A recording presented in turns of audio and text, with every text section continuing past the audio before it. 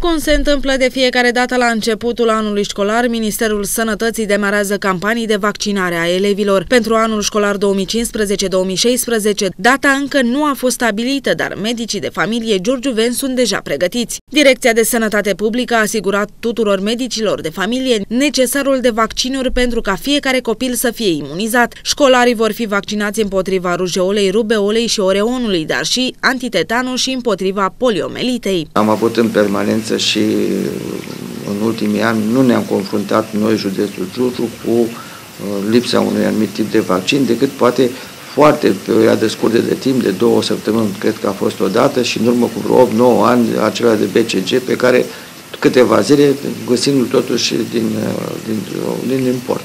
Cum se întâmplă de mai bine de trei ani, campaniile de vaccinare vor fi efectuate în cabinetele medicilor de familie. Medicii fac apel către părinți să coopereze și să permită vaccinarea copiilor, deoarece opunerea lor poate pune în pericol viața micuților. Aceste vaccinuri, care sunt gratuite, sunt foarte importante, mai ales pentru copiii care se află în clasa 1, deoarece la această vârstă se face ultimul vaccin pentru prevenirea rubeolei, rujeolei și oreonului.